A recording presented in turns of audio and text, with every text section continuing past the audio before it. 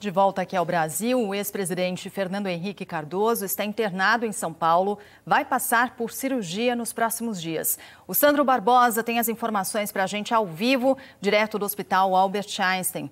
Sandro.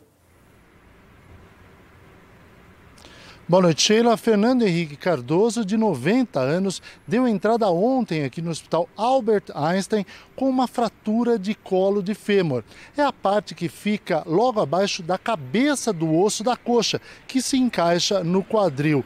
A lesão foi provocada por uma queda em casa. Segundo o boletim médico, o ex-presidente será submetido a uma cirurgia, mas a data ainda não está definida.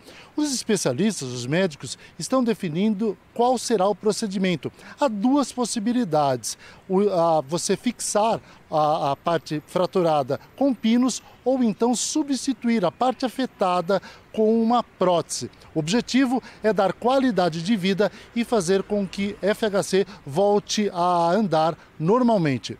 Douglas. Obrigado, Sandro, pelas informações.